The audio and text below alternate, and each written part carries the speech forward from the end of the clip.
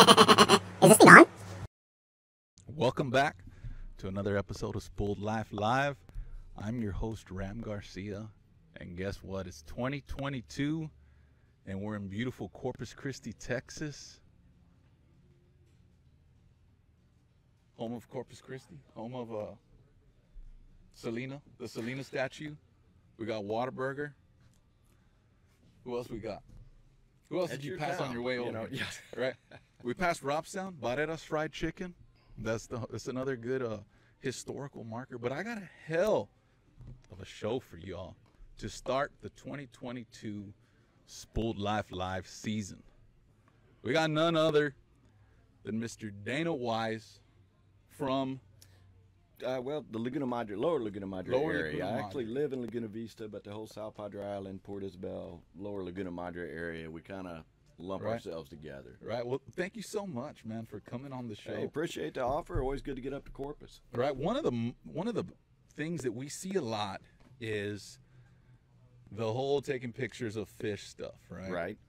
i'm trying to get my my phone on here we go one, one, one of the things we see a lot is is everybody wants to take a selfie of a fish everybody wants to showcase their their catches their memorable catches but you do this stuff like for real Well, right? at the professional level we'll call it right well, I get paid, so technically, I guess it's professional. Uh-huh. But you know, it's um, it's it's something that I did because I love it. But Right. it is nice to get get get paid for it as well. hmm Tell, tell us a little bit about yourself.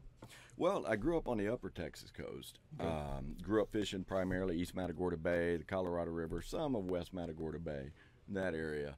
Moved to uh, South Padre Island in 1995, and that same year is when I began my career as an outdoor writer. So since that time, I've lived in the lower Laguna Madre area, uh, guiding, writing, doing photography in that area. But because of writing and photography, I have you know the good fortune to be able to fish up and down the Texas coast, um, all of the different bays as I Right. go on story and photo assignments. So. Um, really been fortunate these last 20 some odd years to uh, get to fish with a lot of really talented anglers and guides and uh, see pretty much every every mile of the Texas coast. Right. You're not your typical. If I'm taking a picture of a, of a fish I caught, you know, I'm on the kayak most of the time, you know, and, and I have camera booms spread out along the kayak. But you are you get in the water. You're Yeah, I spend a lot of time in the water or under there, the right. water. I, I that's something that it's relatively new, say in the last three to four years for me. Mm-hmm. Uh, but absolutely in love love it. Um, had worked previously some years ago doing uh, snorkel trips, scuba trips, things like that. Oh, so wow. I had some experience in the water prior, uh, but combining the photography and being in the water with it is, is what I absolutely Right. love. So when we get an opportunity to get me in the water to get these to get these shots, that's what I live for. right. Unless it's wintertime.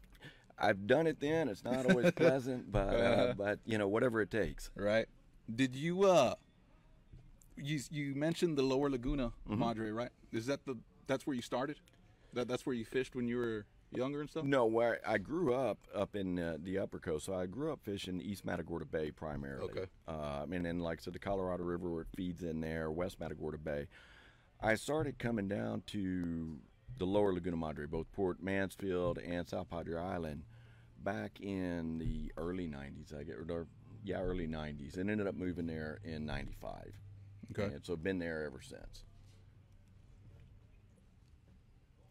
Guys, if y'all are just tuning in, somebody give me a brown thumbs up. If y'all don't hear an echo, y'all see us good, y'all hear us good, y'all's favorite beverage is going down good. Give me a thumbs up. We got a bunch of good stuff. We got a hell of a guest. We got some giveaways. We got some stuff that's almost out, right? Right. of, of the shelves. We got a couple thumbs up. We got a white one and a brown one, so we're good. All right. Why the outdoors?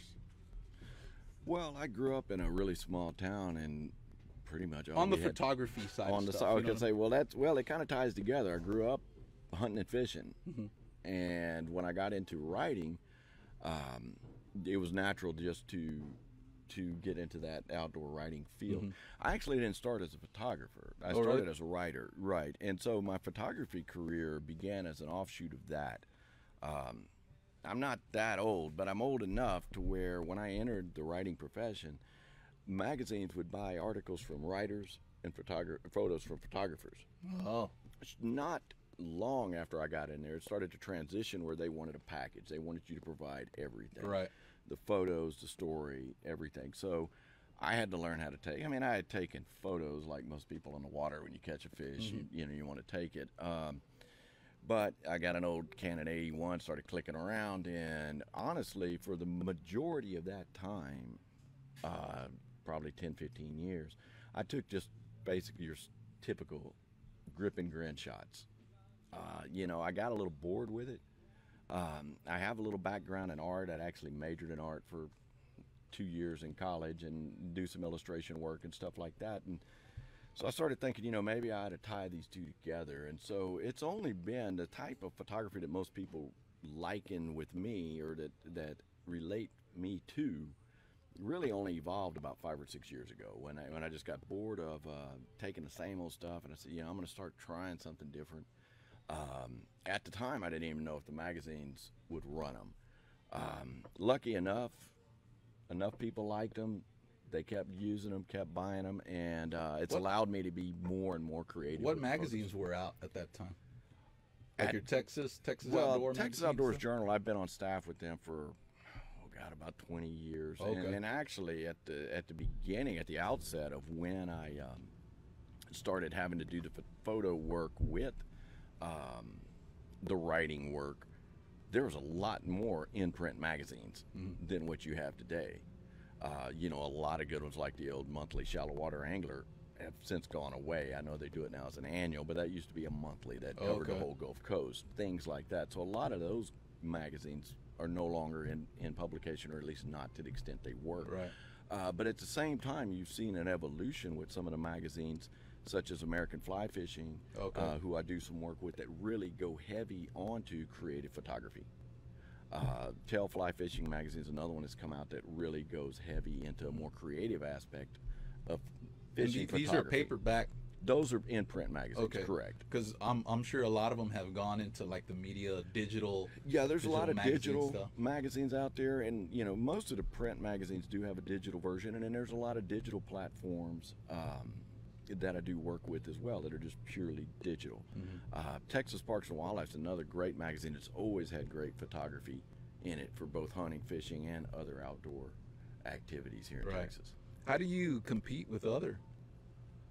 With with uh, especially nowadays where everybody wants to, you know, you pick up a camera, you have like GoPro cameras. Right. When when I don't know, right? I don't know how old you are, but when you first started, was there wasn't there wasn't much of like a GoPro action camera, right? You know, it, it no, it's certainly not a GoPro. Um, and you know, it's kind of funny. You know, there's two ways to look at that question. You know, as far as competing with other photographers, you know, as far as me, you know, I've never considered myself a good photographer.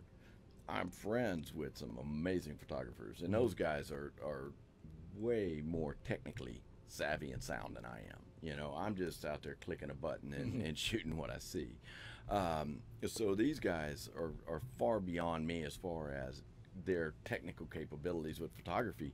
But that also kind of goes with your, your question there is that the advent of more modern technology in photography has, has allowed everyone to take a lot better photos than they could before.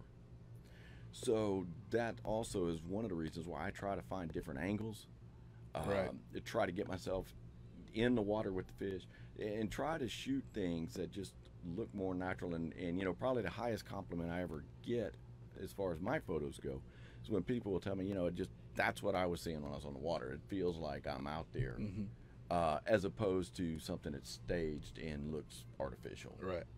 So that's really as far as that goes. Now, on the flip side of that is I remember when writers had to start taking photos, the full time photographers weren't pleased with it.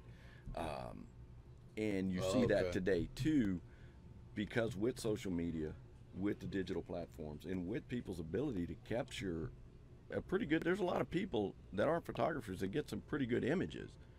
uh, and they'll push them out there through social media or even sometimes get them picked up in a print mag. The difference there is being able to do it consistently and having you know enough photos to sustain you. You know, getting one here and there is not going to get it done. Uh, the sheer volume of quality photos that you have to come up with um, in order to make a living out of it is much more than what people realize. And so there is a lot of pressure, believe it or not. I mean, people see me fish with me, uh, shoot with me on the water. They may not think the pressure's there Right. um, which is one of the reasons I, there's a kind of a core of, of guys and gals I like to shoot with because they know how to get it done Right. and it makes my job easy. Mhm. Um, but there's a big difference between taking a good shot because you happen to have that opportunity and having to go out there and fill a fill a need and get photos to run with an article or get photos to fill an assignment. There's a couple companies. My company of choice is Railblaza. They they've created a. It's called a camera boom camera boom 600 or.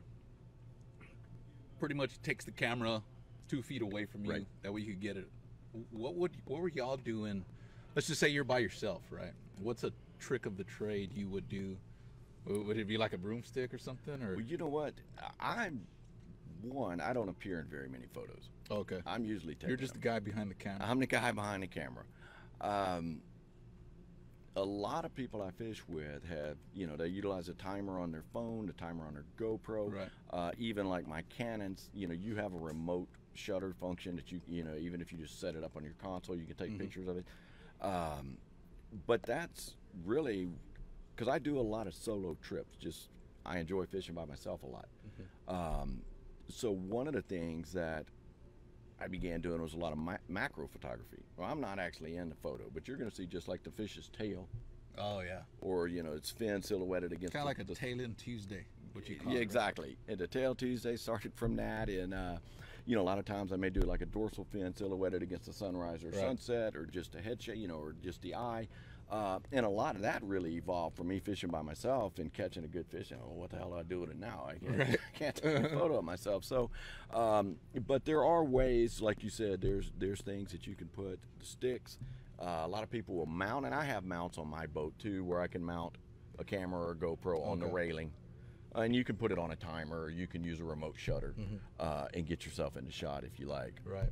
When when I've hired photographers, not that I hire photographers for my fishing stuff, but when I've hired them for like my wedding, you know what I mean, for quinceañeras, what other um, birthday parties, right? They always say, "Well, let's try to schedule something in the magic hour." Right. Right.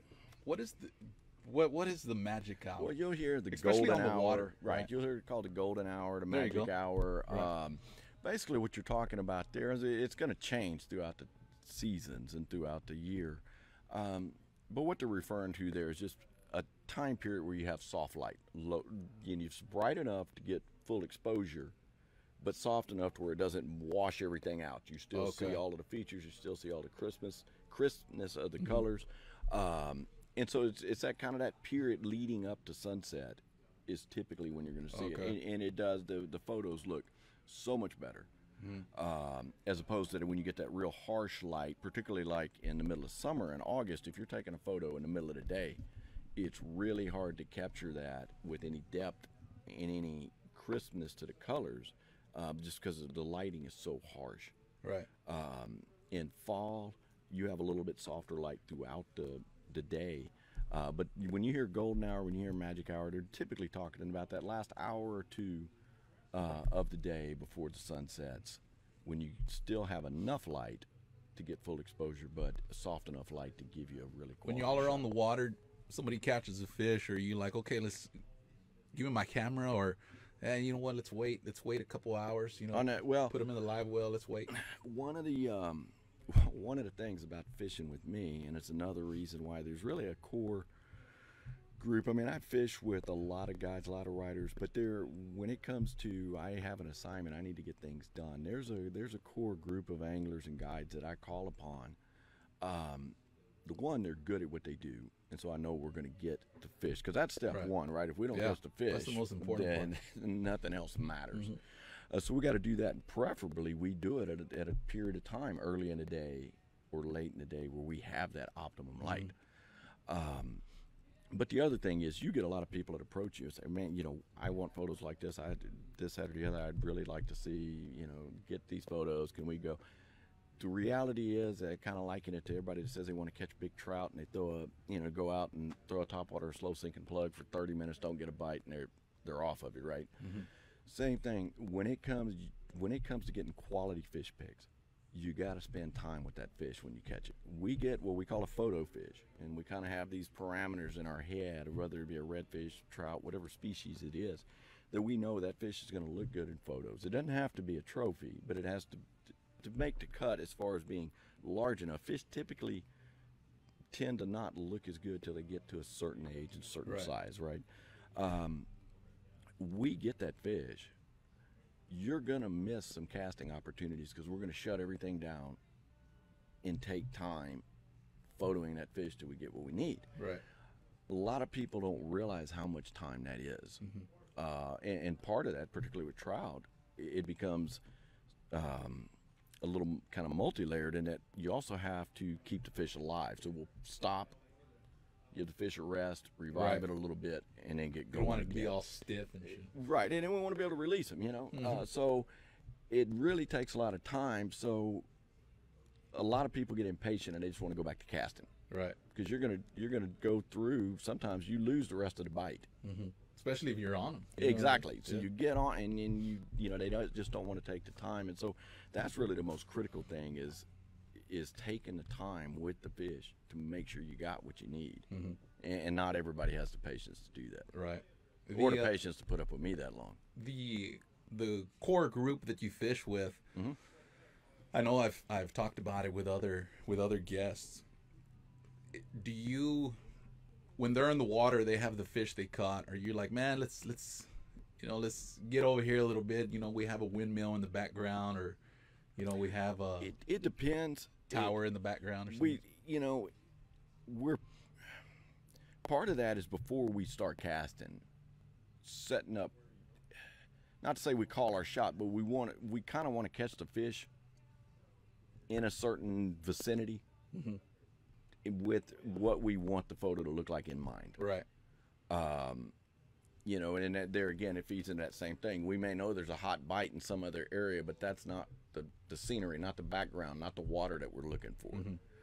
Um, so part of the setup goes before you even start casting make you be in the area you Right. want, and then once that happens, that you get the fish. Of course, you can never predict exactly when that's going to be. So the sun angle's changing constantly as the day's going on. So immediately, once we know we got a fish, actually, if, if you see what what we do, when the fish is hooked, um, if we know then it's going to be a good one, I'm already out with my cameras. I mean, I'm fairly efficient after all these years, so I've already got my camera stuff laid out. Mm-hmm. A- And again, the the ones that I really fish with a lot that really know what they're doing, they know the drill too. And so, while the while the angler's fighting the fish, I'm already kind of looking for sun angles, looking for backdrops, looking at where. So as once the fish is netted, it's in the boat. We stake down or whatever we're going to do. I already know where I need to enter the water, what what angle do we need to shoot at, and they do too. We've been talking through it the whole time, uh, so we make it, you know, not to sound like we're actually good at what we do, but we've done it a lot, Yeah, and it right. works out for us. So a we, little system y'all yeah, already- we have a little system in Right. place, and we and and that makes it easy. And then, like I said, I do shoot with a lot of other people, and, and I can personally tell the difference even when we get good shots, Mm-hmm.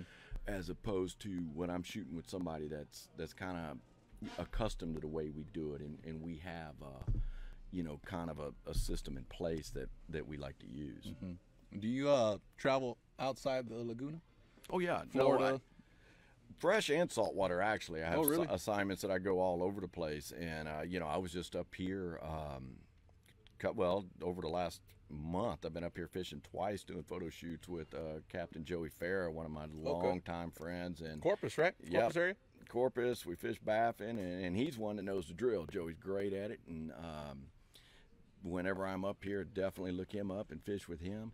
Um, but yeah, I get to fish up and up and down the coastal bend a lot, uh, and also up all the way up to Sabine and, and Galveston, Okay. as well as, uh, like I said, a, a number of Texas lakes. anything out of the country or anything As far as going on shoots out of the country, no, not as of yet. That's definitely in the plans, Right. but uh, but so far, no. I know a lot of those guys, like in uh, Costa Rica, Panama, catching sailfish, rooster fish. That'd be Mm-hmm. The cool, rooster man. fish interest me a lot more than the sailfish. Oh, really? You know, yeah, we've got good sailfishing down in South Padre, but even then, I'm more of an inshore guy. But the rooster fish is definitely one Right. I'd like to photograph. Right, I know Brian Barrera. Oh yeah, you know, Brian. real good friend of mine. Right. He gets into the tarpons. That that's that's one of the, I guess the fish you want to catch when you're down, down there, right? Yeah, and that's you know what, and that's uh, when we talk about guys that know the drill. Um, there's nobody that I work with better than Brian. Oh, really? Uh, Captain Mike Ball and Captain Brian Barrera are two guys that I fished with forever, work with for well. Actually, Mike fished with forever. Brian and I have only fished together in the last ooh four or five years maybe, but that that's a guy that can one produce fish Right. and when you talk about tarpon, uh, you know, I'm really loath to say that somebody's the best at something because everybody has strengths and weaknesses, and you know, especially inshore guides. Um, but you know, I just had this conversation with a magazine publisher the other day that, you know, if we were keeping stats like next gen stra- stats in NFL, I don't think you'd ever see a season for Texas tarpon like Brian just had this year. Um, and he's as good as I've ever seen when it comes to tarpon and snook. Right. Uh, he's an all-around guide, and when but when it comes to that, he can produce them. We're talking to each other the whole time the fish fight's going on about what comes next, and where there's no surprises Right. when the fish is to the boat. Uh, in fact, one of my favorite photos from this year is uh, Brian doing a face grab on a tarpon that was, you know, probably around 130, 135 pounds. Oh wow. Because there is even Was it though- that one that, that we posted on the flyer? yeah, that one. The- Yeah, that was that was one that I I really liked that photo. Um, and even though tarpon, tarpon are kind of subtle in their coloration. They're silver with a green back, right? But when you really get the right light on them, each of those scales is so prismatic. Uh, there's really not a prettier fish, and they have such distinctive features with that jawline and with Right. the scales and with the with the gill plates and the big eye. Uh, that is one of my favorite fish to photograph. Um, fun fish to catch, A- and we've got a fishery that would rival anywhere in North America. Right. Um, and yeah, when it when it comes to tarpon fishing, it, that's one of those things that you know. And Brian's one of the guys I've I've watched. He's younger than me, but I've watched him grow these last few years as a guide, and it's it's really been cool to see. He's always been a good guide, but man, these last couple of years, he's he's elevated himself, and it's one of those deals that he's on the water all the time. But he's a guy. He calls me and says, "Hey man, I just ran a trip this morning. I'm going in an hour. You know, I drop what I'm doing and I go." Because every time we fish together, there's a chance This is gonna be a good one. it's going to be a good one, and, and more often than not, it is. right.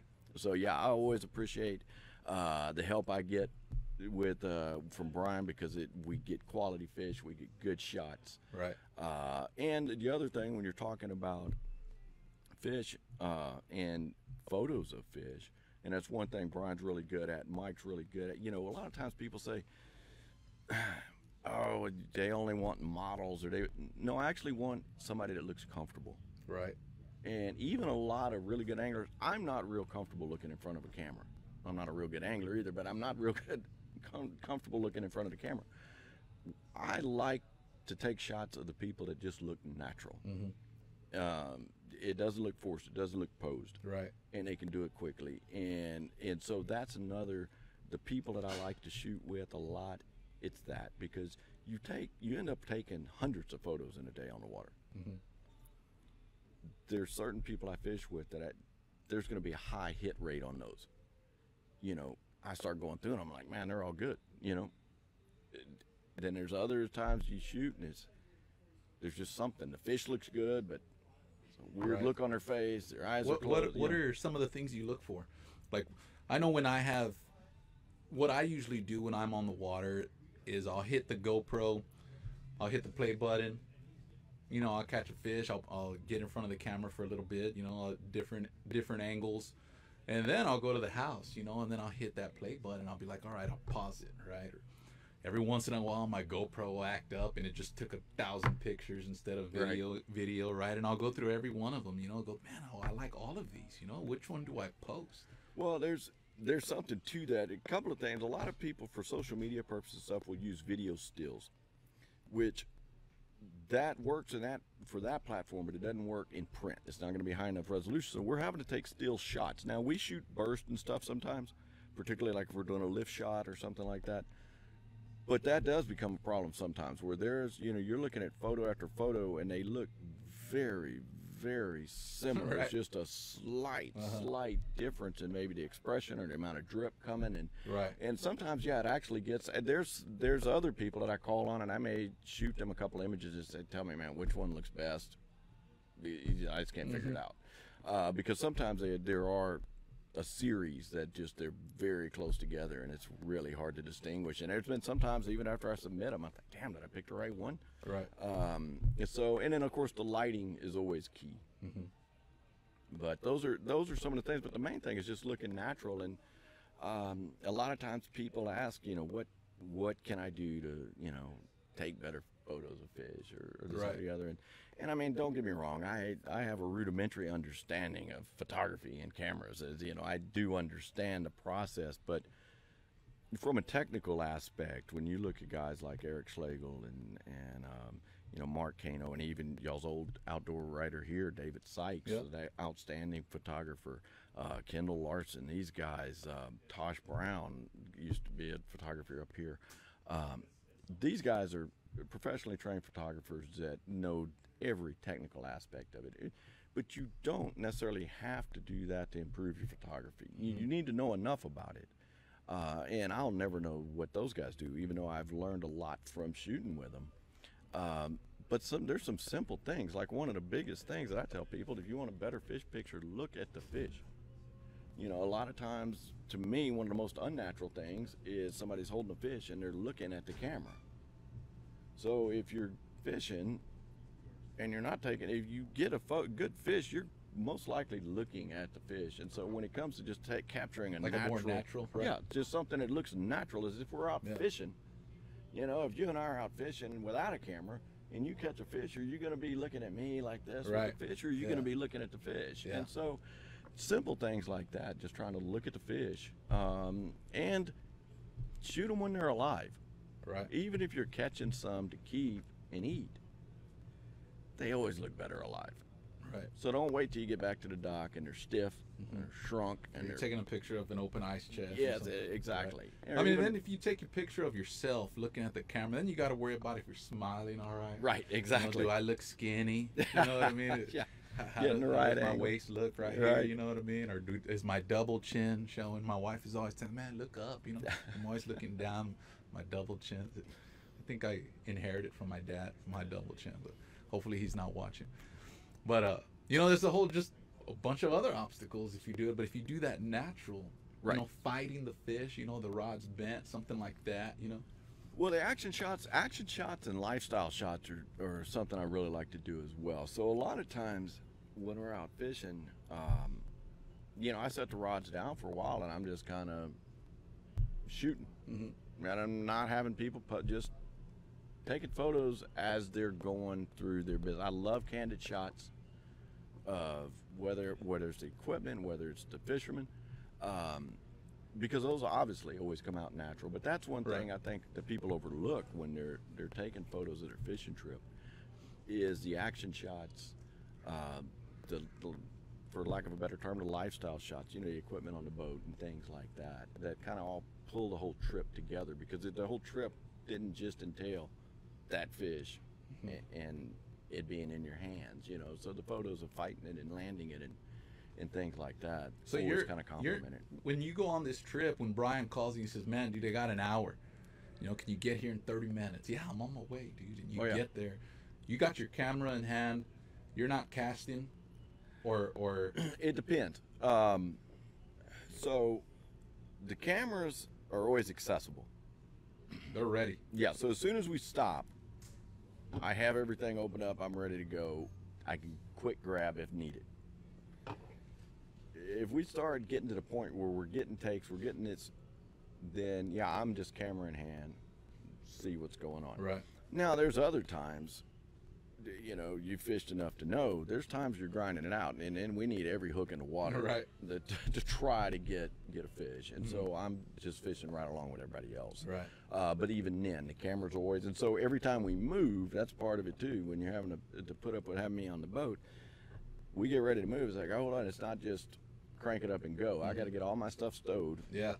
And then we run. And even if we're just running to reset a drift, I still got to put everything back away Right. and then get it all back out. You don't want it to get wet, all that stuff. Right, Fly so- off the boat. Or, Yeah, I just don't need it bouncing around on the bottom of the boat for Right. sure. So that, but that too is is something that just kind of kind of becomes second nature. Mm-hmm. You know, as soon as we stop to drift, camera bags out, open. Cameras are pointed at a place where I can grab them real quick and Right. easy. We uh, you talked about lighting a while ago. There's this thing I don't even know what I'm, I'm gonna call it a, like a light filter, Mm-hmm. right? You plug it in, it's got like a screen on it, whatever, whatever. You don't have one of those, right? So when the sun is not there, you're on an evening trip. Are you like, man, let's, you know, let, let's. I'm just not gonna take no pictures, you know, or, or No, no, like no, that? no. That's never an option. Um, so the light, one, the light's got to get really, really low before before we're able to not photo. Um, and I'm not the best again technically with with lighting in photography, but I can I can get by. Uh, I have some some of course everybody has flash and fill flash Right. and and we've got you know external flashes we use if but I I don't prefer I don't like using a flash if if necessary.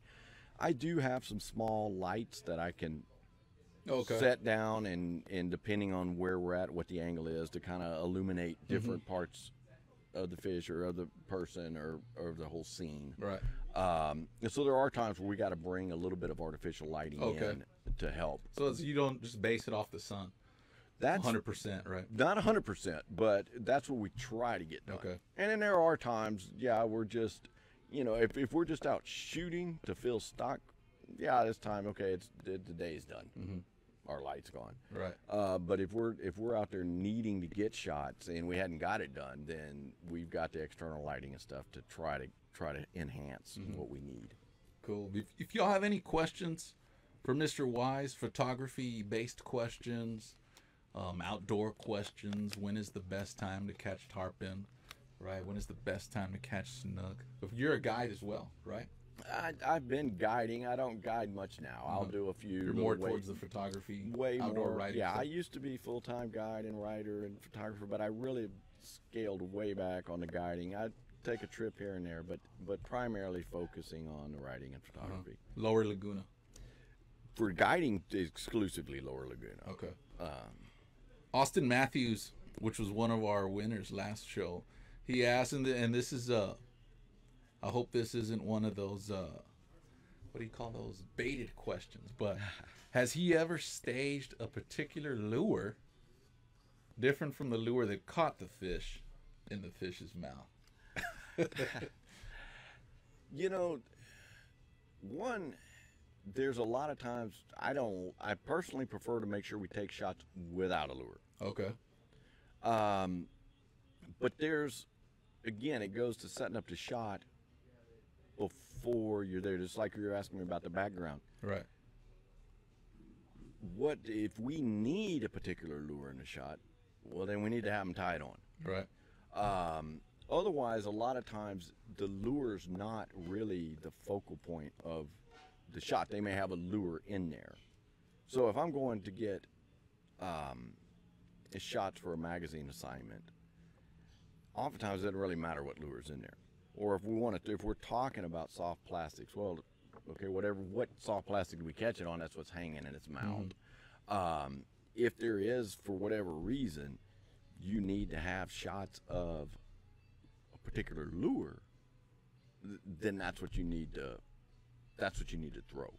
Um, and I, I tell you, you know, we we brought we were talking just before the show about um, Mark Nichols, owner of DOA, and that is one of he is adamant about not sticking a lure that didn't catch that fish. If it's one of his lures, if it didn't catch the fish, he doesn't want it in his mouth in a photo. Right. Um, he is very adamant about that. Is that has there ever been a situation where you yes, you did catch it on that lure, but you just don't have that angle. So I'm gonna take the lure out. Oh, without so a doubt. be on Yeah. Oh, yeah, without a doubt. Sometimes they got that thing deep. Right. Sometimes the first thing we got to do is remove everything to clean the fish up. Right. You don't want to have a whole bunch of blood all Yeah, over. Yeah, or he hit the bottom of the boat. You see, you know, we got to rinse them off, and then you just put it back in. But Mm-hmm. I, I see no ethical issue with that. Right. Um, you know, that you caught you caught a fish on a DOA shrimp, and it was up where you didn't see anything but a line going in. You wiggle it around, and it comes out later. Or like I said, and sometimes we'll pop it all the way off the hook, rinse the fish, clean him up, re, you know, put the lure back in if we Right. want the lure in the shot, and then take Yeah. those shots. But that's it's not really to me. That's not staging. That's just trying to get a quality shot. Right. Austin Austin uh, says it was a baited question, but not a baited question. Jonathan, welcome to the show, man. Jason Parker, I'm still waiting on that message, man. You're supposed to call me about the. I got something big coming up, guys. I'm hoping it's a hit. I'm not sure. We're still gonna do it because we just do whatever the hell we want over here It's Spooled Life Live. So, me and Jason Parker are actually working on something. We can't say much, but it's gonna be at some point here at the beginning of the year, hopefully. So, I want to say a couple days ago, we had a giveaway. I posted up a giveaway. I usually do it about two weeks to a week ahead of the shows coming up, but I felt like a lot of people weren't getting the chance to win, right? So what I did was I said, you know what, I'm gonna do this this giveaway late, right? We did it, I believe it was Thursday, might have been Wednesday, it might have even been Friday, I don't remember, but it was a it was definitely not a week, two weeks. So the it was called the Die Hard Loot. It was for the diehards of the group that are uh, cruising into the group and checking out what we got. Right? I'm not even sure how to if there's like a notification. I know on Instagram you could hit that notification thing and you get all the the posts that somebody's doing. I'm not sure if there's something like that on Facebook, but if there is, hit that notification button. But nonetheless, we did do a giveaway loot and we had almost I want to say like 50 something comments, right? To be fair, guys, you must be a member to win. All right, we had a, we had at least 5 to 6 people that were not members. I didn't put your name in in the loot, right? Got to be a member to win. You got to be a member to participate in the best podcast that Corpus Christi has to offer, right? So, we're already 39 minutes deep. We're to pick a winner. My man, Mr. Wise, is to pick a winner from this hat right here. Right? All y'all's names is in this uh, in this real sportswear cap. And we got them all right here. One winner is going to win. For everybody that jumped in, thank you for jumping in. Everybody that's inviting their their uh, tias and tios and cousins, thank y'all for that as well. You know, we do this to grow our group, right? Everybody that uh that invites people and tags their buddies and stuff. You know, hopefully y'all are tagging some people that aren't part of the group, right? If y'all are, then it's okay. You know, it's okay too. So one person's gonna win the uh the diehard loot tonight. And we got another special surprise for the viewers that are still on. So one person, Mr. Wise, anybody. The one person that's gonna win the Die Hard loot is none other than Mr. Colby Stelling. Colby Stelling, you are the winner, man, of the Die Hard loot. If you weren't Die Hard, you're Die Hard now. So slide into my DMs. I'll slide into yours. We'll get this out. I believe you're local. You're you're somewhere around here, Corpus Corpus Christi area, and we'll get it sent out to you, man. Congratulations for winning the Die Hard loot. So let's talk now. Let's talk tactics in camera setups. We we, we spoke about it briefly while on the uh, on the water. When when you get on the water, right? and I, I keep on talking about what I do as a kayak fisherman, you know, but my cameras are always in place. You Right. know, they're they're always stationed there. When I get on the water, I do have different angles I can choose from, but first thing in the morning, okay, I want this front angle. I don't mess with it at all. Okay, Right. first thing in the morning, I want this back angle. I leave it there, right? I do have the option to go back there and change it, but I don't want to, you know. When you jump on the water, and I keep on mentioning Brian's name, right? Because he's the only one I know from down there. But Brian's hauling ass down the intercoast or, or the waterways y'all have. What what what are you thinking? Okay, I got to get my camera out. What lens do I got to do, or do you have them all set up? And No, I already know what lenses. Um, the, well, one, I have multiple cameras with me. It's um, are they all Canon or yeah, all Canon. All Canon? Um, that's your camera of choice? Canon. it is. Uh, that's what I started with, and and over time, what happens is you buy lenses that you know you want bodies that fit those lenses. Oh, So you just it kind of perpetuates, right? Um, but in general, I've always been happy with Canon and, and just have stuck with it. This might be a dumb question, but you can't put like an Olympus lens No. on a Canon camera. You have to have Right, and even Okay. within that, it, it gets into you know different models of of each brand will sit Oh, really? different models of each Oh, lenses. okay. Yeah, so you end up kind of once you've invested in all these lenses, you start kind of trying to find you know you reinvest in bodies, you're Mm-hmm. wanting the ones that match up, etc. But I always have something with a wide angle lens. Number one, that Okay. way we're if we're uptight to each other, which you often are in a boat. Mhm. You know, so if I was only going to have one, it's going to be a, a short wide angle lens that I can that I can use in in close quarters. right. Uh, so that's always on one of the cameras, and I always like something versatile that I can get a little more reach out of. Um, but of course, no lens does everything, and so depending on the type of shoot that we're doing, you know, we kind of know what shots we have ahead of time, so we'll have cameras fitted with those lenses. But I do have other lenses in the bag. I, I it's one thing I, I hate to change lenses out there on the saltwater because you get the air and everything else. Right. When you even if you do it quickly, you've got you got the air, so you always got a little extra cleanup to do then. Uh, but I do have lenses in the bag in case we start coming across something where, where I need a longer lens or something like that, and then uh, then I'll go ahead and um, and switch them out on the water. But again, it goes in. You know, for instance, a, a month or two back, I was shooting um, a tournament down there uh, with a buddy of mine, Captain Mike Mall, was boat guy running me around on that one, and we knew that we couldn't get close to the to the participants, you know, because Oh, we're gonna spook them, whatever. So we go out with our, you know, long lens, tripod, everything else, and so I had a short lens in case we happened to need something up top. But by and large, we knew that day we're going to be shooting at a distance, so it was already rigged to shoot that way. And most of the time, if we're fishing, particularly if we're fishing out of the boat, I'm going to have something with a wide angle lens. I got you. Uh, generally, I'll shoot like a, I have a 15 to 35 wide angle that I really like because it, it allows me to be close to the subject, you know, and still get get them in frame. Right. So it, it does vary sometimes, but generally you're just kind of like when you're going fishing, you kind of know what you're targeting the next day, and that's what you're tying on your rods. Pretty much the same thing. You get mm-hmm. those lenses on the on the camera the night before, and you're ready to go. Right. The evolution of the camera, right? We, I grew up knowing the camera where, you know, you push Right. it over here for a Yeah. little bit and it's ready to go. You shoot, you twist it again and it's ready to shoot again. Mm-hmm. And then the, the GoPro camera came out for all of us dudes that, you know, we, we get dirty in the water or dirt bike guys or mm-hmm. Just action, right? The action camera, right? Has Canon or any of the other, what do you what do you call those point and shoot cameras? oh yeah, there's. Uh, Is there like a GoPro bad to the bone? Uh, not, not necessarily a, a GoPro style, which and I shoot GoPro as well. I have GoPros. Oh, you do? Uh, yeah, I have GoPros as well. Uh, so GoPro and Canon would be the two brands, but there's a lot of point and shoot cameras. Some of them are even waterproof. Oh, okay. Um, that everybody, uh, Olympus, Canon, everybody.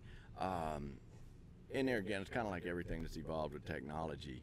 Right. You know, a lot of these, even the most basic point and shoot camera today allows people to capture photos that are far better quality than that what they could have with some Right. Mm-hmm. top end equipment 20 years ago. You know, so yeah, there's there's cameras out there really for every budget Right. and every user level Mm-hmm. of experience or aptitude. Right. Even the cell phones are getting pretty. Yeah, pretty without a doubt. good. And I shoot stuff on my phone too. Oh, really? I mean, oh yeah, I'll I'll shoot with my when we're shooting. I'm shooting with several cameras, and I'll I always take a couple with my phone as well. Mm-hmm. Um, and sometimes it lays it allows me to lay at an angle that that a big camera won't. Right. So yeah, without a doubt, uh, the cell phones are are getting most of them are up high enough in pixels um, and Water file size. resistant, all that yeah. stuff. So yeah, without a doubt, you can get a lot done, and that's how a lot of people have have gotten to where they're taking the the shots like you were asking. If they're fishing out of a boat, you know, kayak's a little different. You've you've kind of got to do what you've described and have your gear set. Right. Uh, but on the boat, a lot of them are just you know tilting it up, uh, kind of like you have your phone there and putting a timer on, and then if Right. you do it in the selfie mode, they can see themselves in the pose Yeah. uh, ahead. Yeah. I think now that the new GoPros have a screen in front. Yeah, the new GoPros do the same thing. They have a screen. Yeah, Right. the nines. The only thing I've had a problem with GoPro, and hopefully GoPro's watching, right? Yeah, right. But uh, I mean, who knows? They might be right. Is battery life? You know, I have mine. I haven't upgraded my GoPros because I have an external battery that only fits that one. Mm-hmm. So I'll hit it. I'll hit the play, I'll hit the record button first thing in the morning. I can go all day. But if I upgrade to one of the newer ones, and correct me if I'm wrong, I'll only get like two hours because I don't want to reach. Um, well, Hit one- pl- I hit don't do I don't do a lot of uh, video, but I will say this: uh, the GoPro, because I've had several series of GoPro. The GoPro Nine that I have currently Mm-hmm. as my primary GoPro, the battery life is far shorter Really? than what it was on the earlier versions. Okay. um, even doing still shots, even just resting. So I end up having to pack extra, ba- which I generally pack extra batteries anyways, but I've had to pack extra, extra batteries. Right. Uh, now with this GoPro, because if we're on the water all day, even if I'm not shooting with it, I notice it drains. Uh huh.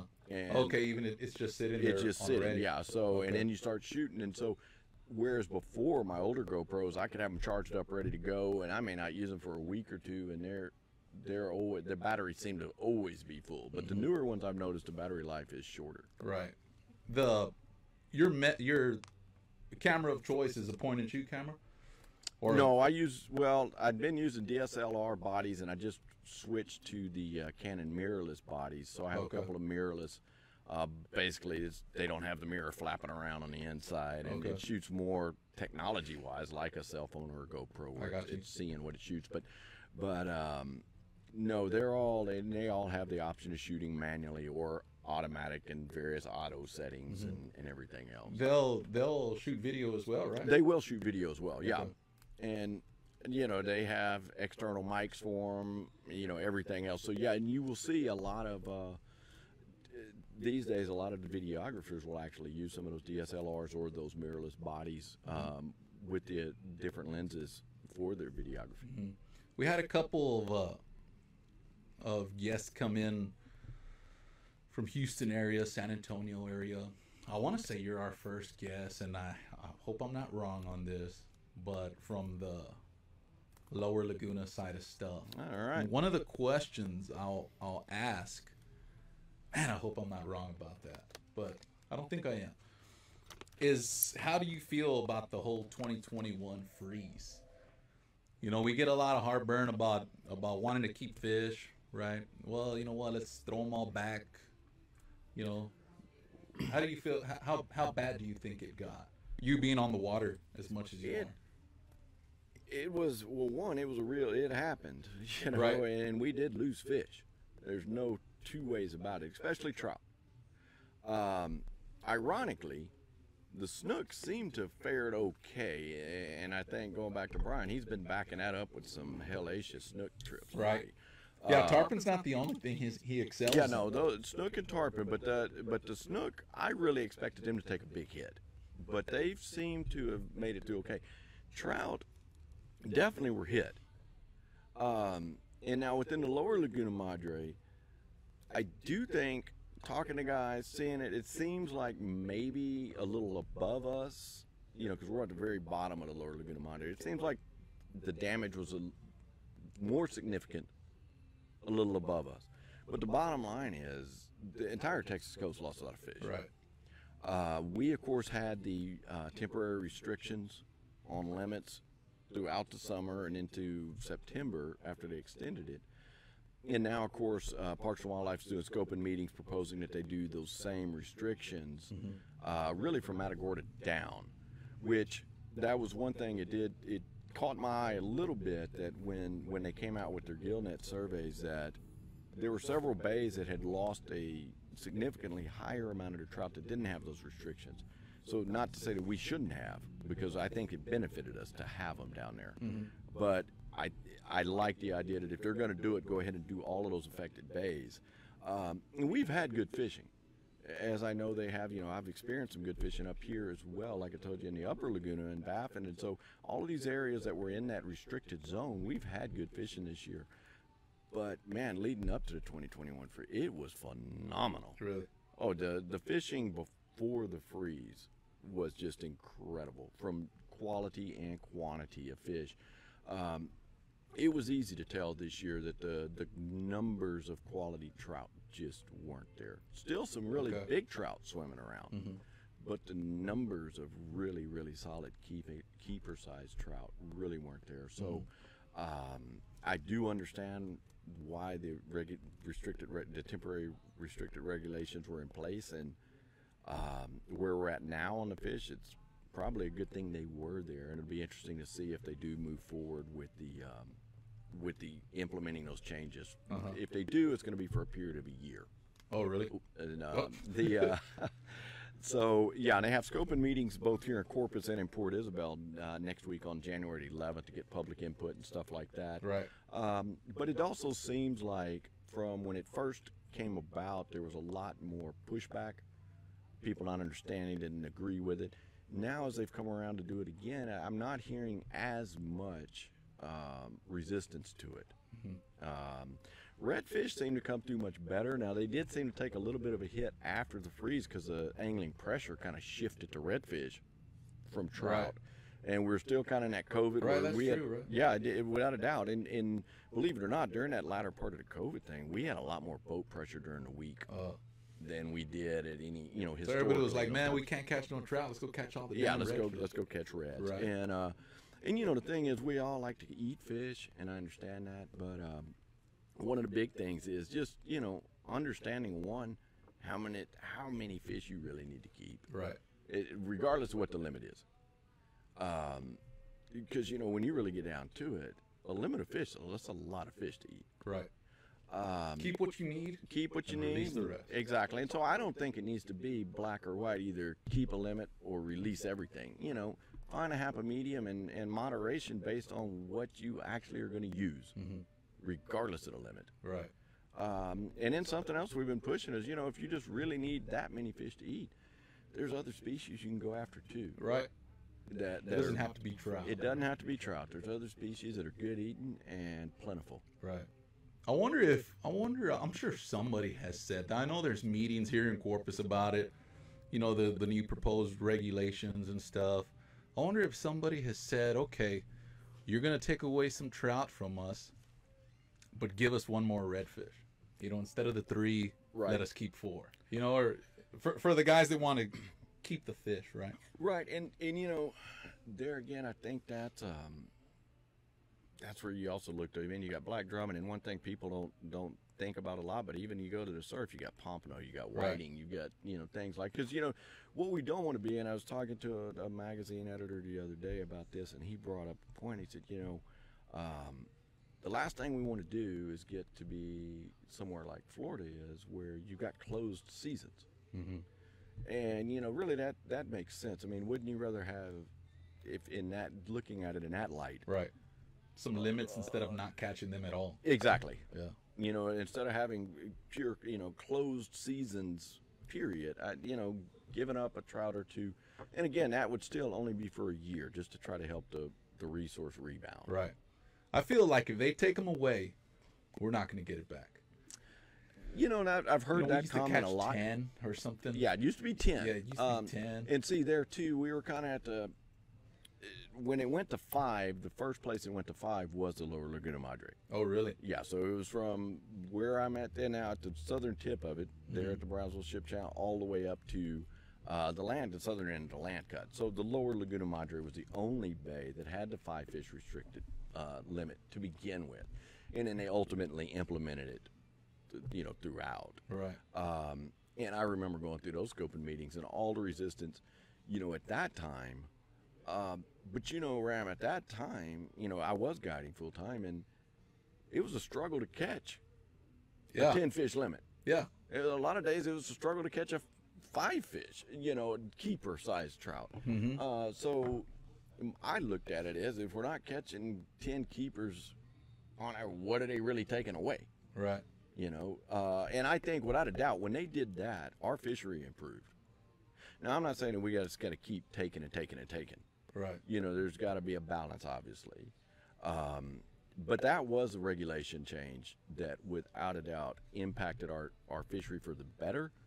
And i think we were really seeing the results of that leading up to the freeze last year because we had phenomenal trout fishing uh, better than i'd seen since of 20 30 years. Um, but also i think we're seeing that now because had they had those populations not built to that level we may not have been able to sustain a population following that freeze event Right. you know i think Yeah. that we had such healthy populations that's what allowed It was us to, working. to weather Whatever the, it did, the freeze what they did was working. i believe so yeah Right. Cool. So once we, before we end the show, uh, we got two more questions to ask you. all right But before that, for the viewers that are still on and they're just hanging out, all cozy, you know, we had a pretty decent cold front come in. I think Yep. it was last Yep. week. Uh, you know, y'all have y'all's blankets out, and y'all are like, man, you know what? I don't want to watch TV right now. Spooled Life Live is on. Put it on the big screen, and let's kick back because other than Danno Wise is on, right? Danno Wise brought us something. He's a writer as well, right? He got us some books. He's got this book, Coastal Fly Fishing Quick Start Guide. That's one of his books. He also has Danno Wise's tips for fishing the Texas coast for the readers out there. But fishing, he also has fishing for photographs. And these are some of his top photographs all right that's that's just a collection of photography in the year of that just came out in 2021 Okay, perfect. So Yeah. this was last year. that was last year Some of his best pictures and some pretty good pictures. I'm not gonna show them because this is gonna be. I'm gonna show you one that uh that I see here is. We're gonna show it because Brian Barrera's on it, right? Some pretty good pictures. Snook, tarpon. One winner is gonna win it, but that's not it. That's not it, guys. You know, here on Spool Life, we do whatever we want. So we're here. We're also gonna throw in. I say we. Mr. Wise is also gonna throw in a box of his favorite lures from DOA. It's your favorite, right? yeah without a doubt that's One of the best- most One of the time. best. One one of the companies that's been around for years Right. too, right? In this box, we got their staple lure. Yeah, right? that's the original lure right there. Their That's what shrimp was one with. of the. I'm assuming one of the first ones that was created by Mr. Nichols, Right. right? This one is called the bait buster Bait Buster. We got their version of a soft plastic top water. right Pretty cool little bait. And the air. Yep. Chad, Yeah, right? formerly known as airhead, they call it a swim bait go. now. But yeah, that's uh, and that's one that you'll see uh, Joey throwing up here a lot. Here in Corpus. Yep, And this is the just their jerk baits got both sides of the jerk baits in there. Right. Chad. when I I've noticed these baits, most of them aren't cut on the tail. Correct. Is that for a reason? Well, it, it makes it a little more versatile because you can, if you want to pull them apart, Right? pop it apart. If you want to trim it short, trim it right there at the elbow. Right. Or you can leave it in there and it gives a little more of a paddle action. Because I've seen that on some of these where you'll cut a slit. Right. right here, cut right? a slit right there. Yeah, Exactly. I've seen some of some people do that. But nonetheless, this is gonna go to one person tuning in right now. Some cool glow in the dark, some cool uh, chartreuse tails. A pretty cool little box. First person. You're gonna get this box. You're gonna get these books. First person to tell me, Mr. Wise's camera of choice. Mr. Beardsley, they do they do reel repairs here. First person to tell me Mr. Wise's camera of choice. We mentioned it a couple times. Austin Matthews. You man, Cliff Nagel, you your uh, your internet is just not as fast. Well, hold on. Who who got it? I'm seeing Cliff Nagel up in the front, right? It was Austin Matthews. Now it's Cliff Nagel in the front, right? Looks like by I mean- here, yeah. Cliff Nagel. I'm not sure how that happened, but maybe maybe it readjusted on time or, or something. But Cliff Nagel, you're the winner, man.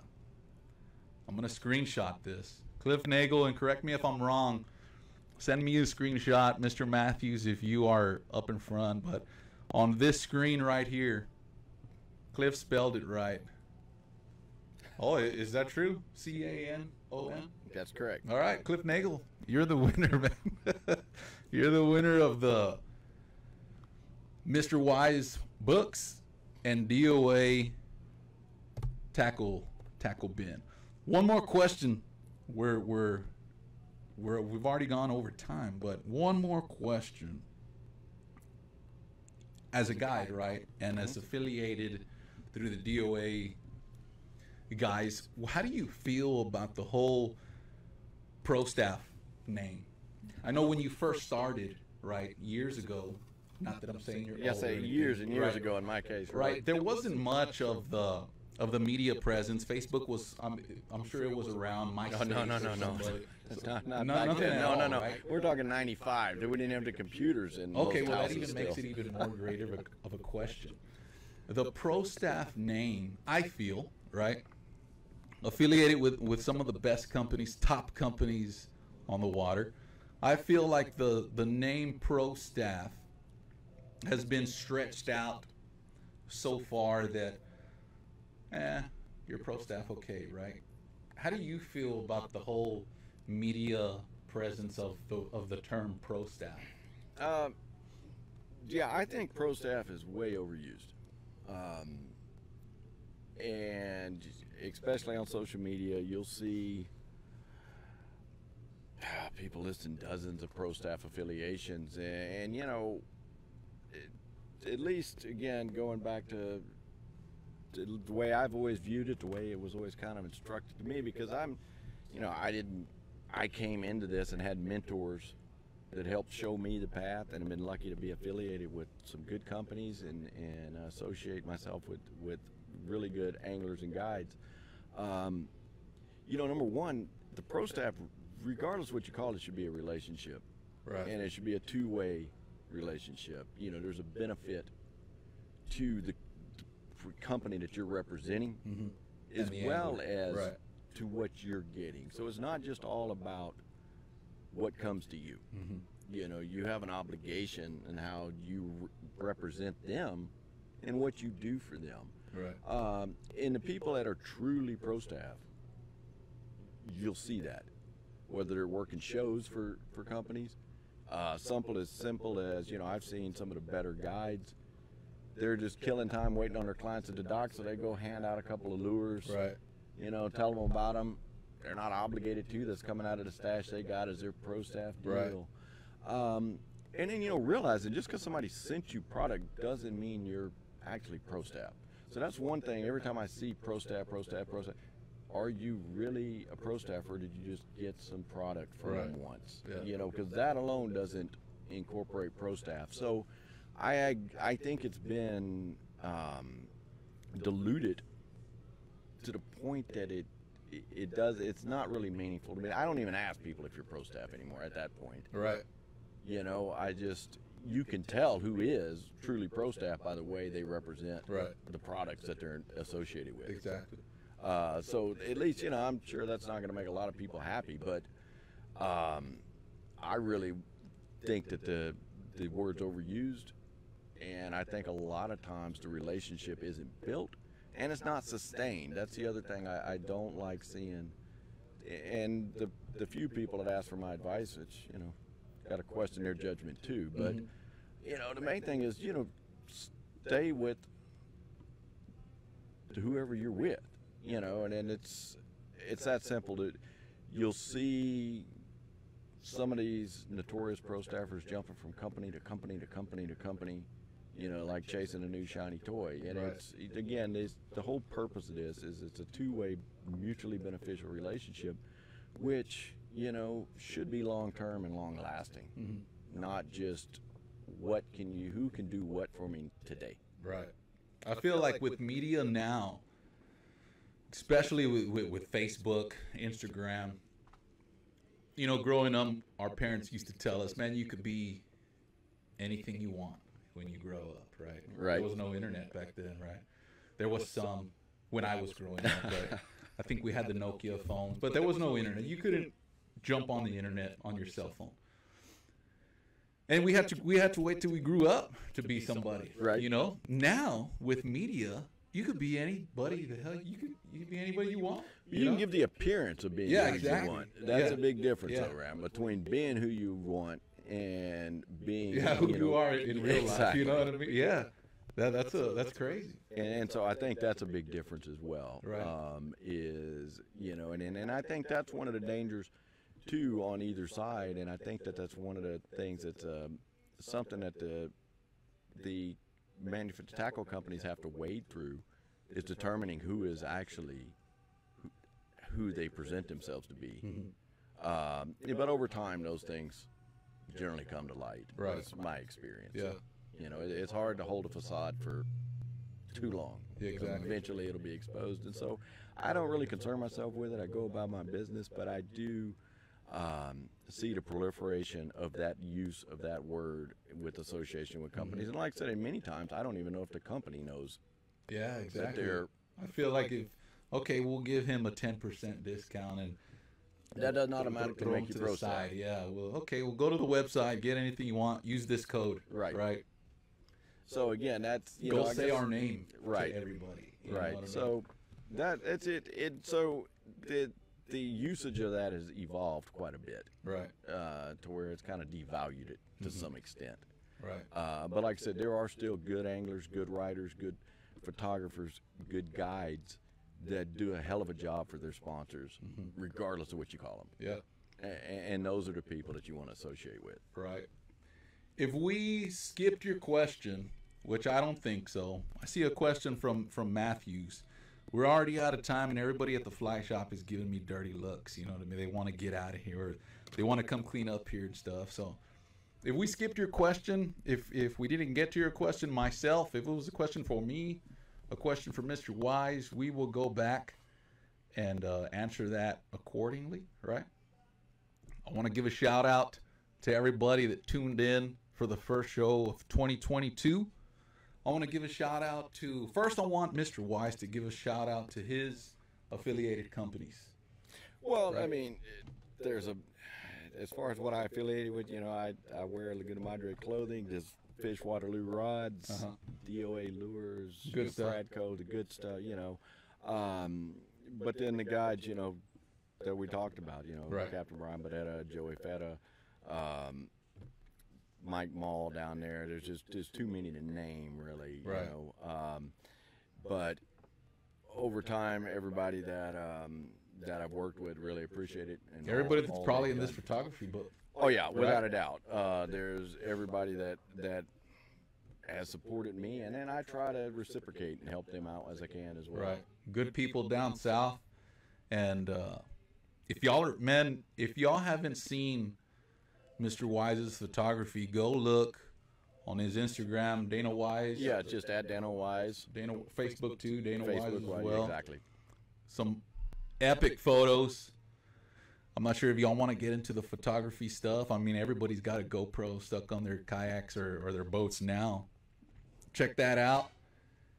Brian Barrera, of course, we'll throw a shout out to Brian Barrera. Probably one of the best, if not the best, in the lower Laguna for catching tarpon and uh, and snook. My sponsors, Roy's Bait and Tackle. We're here every other week in the beautiful Roy's Bait and Tackle studio. Real Sportswear, and Karbach Brewery. But one more person I want y'all to go look at is Redfish Woodworks. He's making these pretty cool Fat Boy He could put a he could put a top water of your choice up there. This one, this is the business card version. You know, for everybody that's got the office, if you have a dad that's got an office, grandfather that's got an office, or even if you got a trophy room, this would look pretty cool in the trophy room. Give that dude a shout, a shout, and he'll set you up with your lure of choice, right? Some people say, man, why don't you have like a busted up lure up there, or you know, a lure that you've actually caught some fish on? Well, you know, I have this brand new lure because here it's Spooled Life we do whatever the hell we want, right? So we got this one. It looks a lot nicer, anyways. Maybe a lure broken in half or something, right? What else we got? What else are we missing? We've already thrown shout out to the sponsors, affiliated sponsors. Thank you so much, Mr. Wise, for making the Enjoyed trip it. over here. Not a problem. I hope it was good. knowledgeable for everyone that uh, cruised into the show. Also, y'all want to take some photos with Mr. Wise, right? We'll Yep. Give you a shout. Yeah, they Make can reach something out. happen? They can reach out to me uh, through my Instagram or Facebook or just danowise at gmail.com. Uh, and I do those trips as well. I do uh, do commission shoots where I jump on your boat with you. Oh, really? Just like any photographer, where you hire them for Yeah. a photo session, I'll get on the boat and do the photo session with you on the water. So Are are you? Uh, I know we're already in deep, but do you?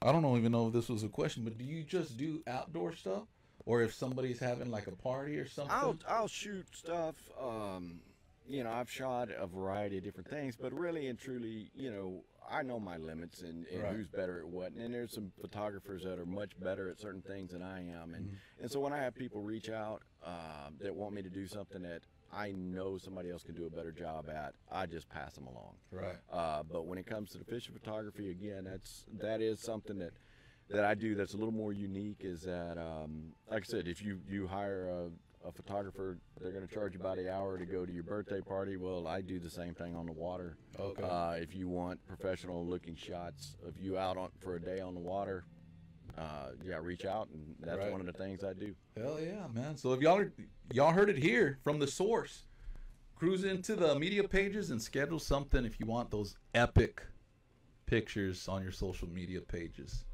Thank you all for tuning in, and we will see y'all on the next show. The flyer goes out tomorrow night, I believe, depending on how the Cowboys do tonight, right?